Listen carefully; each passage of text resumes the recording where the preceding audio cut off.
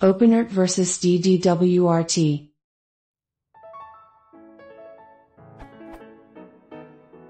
I have a TP-Link WR1043ND router and I want to install one of these two firmwares. OpenWRT DDWRT I read that I can install custom packages and do much more than I can with the original firmware. I would like to ask someone with experience in using both OpenWRT and DDWRT which he would recommend and why. And to give a few reference points I'm interested in.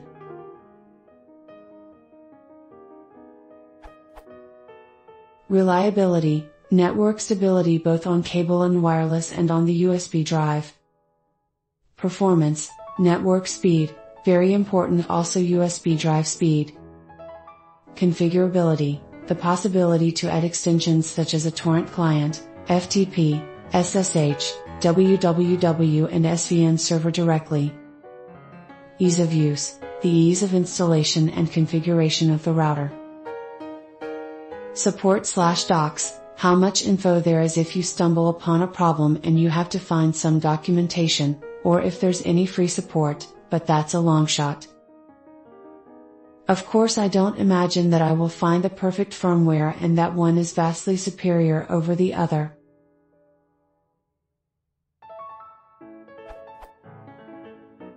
Also if there's anyone out there who uses one of these firmwares on a TP-Link WR1043ND, it would be great to get some feedback about the impact of the changes from the original firmware. P.S. I'm open also for tomato if it's the better one.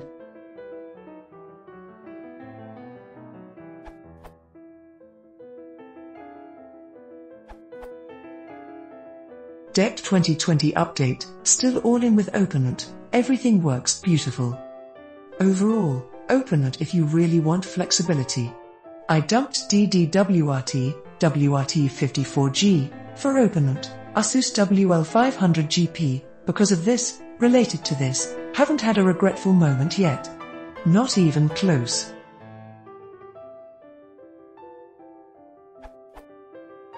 Reliability, I am not aware that one is significantly more reliable than the other. Both have quite lengthy release cycles, which have yet another bunch of users complaining. Performance, I'm pretty certain it mostly depends on the hardware device and best compatible drivers most of all. Configurability, Open Package Management System should win easily here. Ease of use, I like DDWRT Web UI, I don't have a particular problem with LuCI either. LuCI just got bumped to 0.10 branch in 10.03.1 RC5, which is another step up. But overall I'm definitely loving OpenWRT slash etc. Things in there make sense when you need them to. Support slash docs, both have PHPBB forums with significant traffic.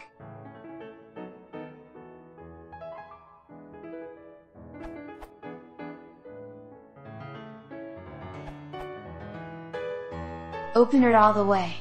Reasons. Complete control. Modularity. Well organized. Given these parameters, you can judge the coding is in good hands.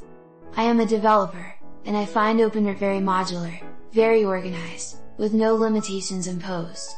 I can pick the modules I like, there are so many available. I can write an application straight in C or C++ and make it work under OpenWRT. I can change the device driver code to suit my needs.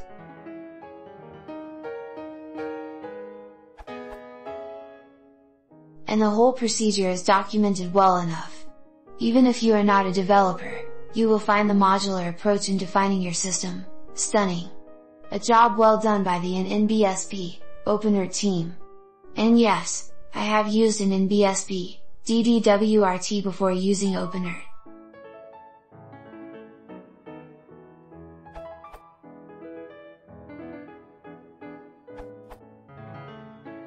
I might add another category, or subcategory, to the main questions.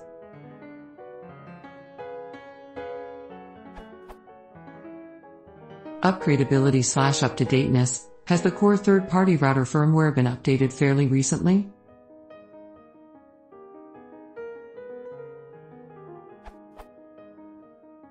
DDWRT while the widely referred to Peacock thread FAQ and DDWRT forums predominantly suggest sticking to router's most stable versions, these firmware versions are with few exceptions over a half dozen years old.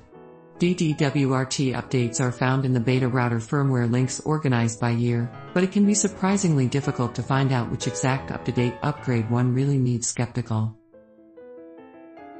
OpenWRT The webpage downloads.openwrt.org shows last month's release of Chaos Calmer 15.05, so certainly the OpenWRT firmware is extremely up to date. Tomato the stock Tomato router firmware listed at polarcloud.com's firmware link is currently at version 1.28. From about 5 years ago. Sure, there are also a bunch of more updated Tomato firmware distribution variations, aka modifications or mods, for various routers listed around, but many people either don't know about these mods or if they even work right.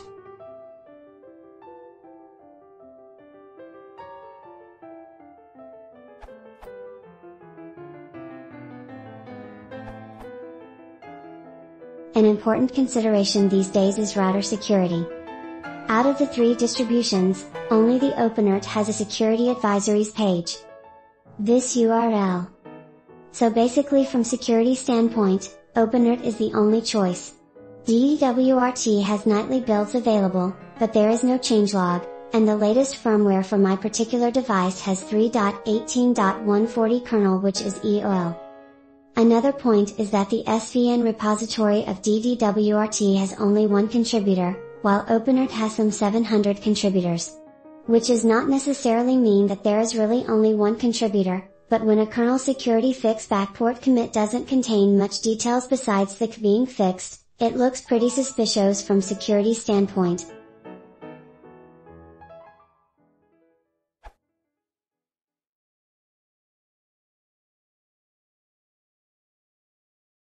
If you us to feeding.